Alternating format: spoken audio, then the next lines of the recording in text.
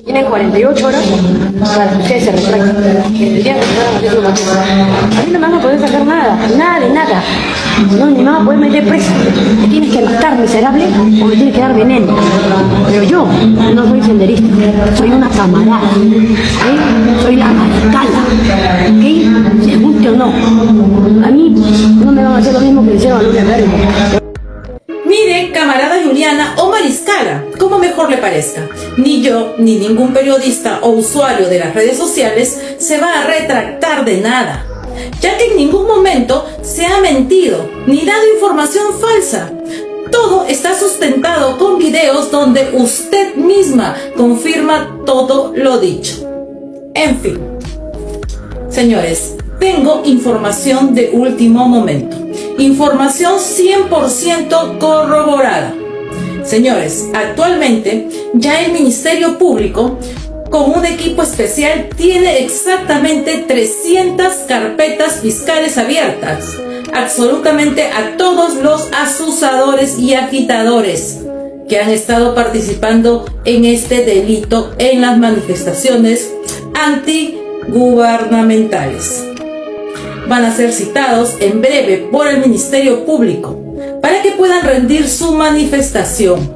Asimismo, es preciso señalar que el Ministerio Público va a denunciar a estos personajes ante el Poder Judicial.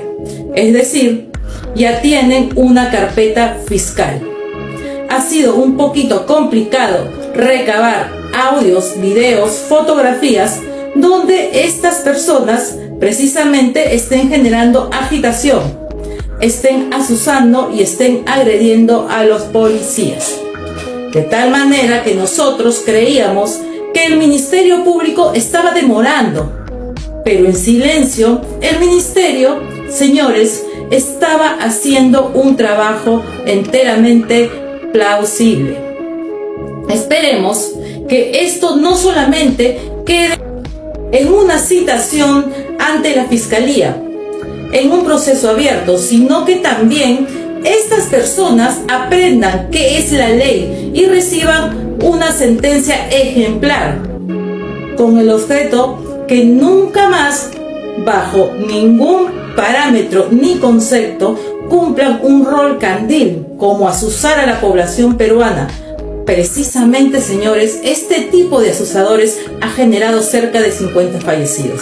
Sí, por gente como esta, agitadores, sus manifestaciones violentistas, señores, hay 50 fallecidos. Entre culpables quizás y entre inocentes. Y esto no lo podemos permitir más.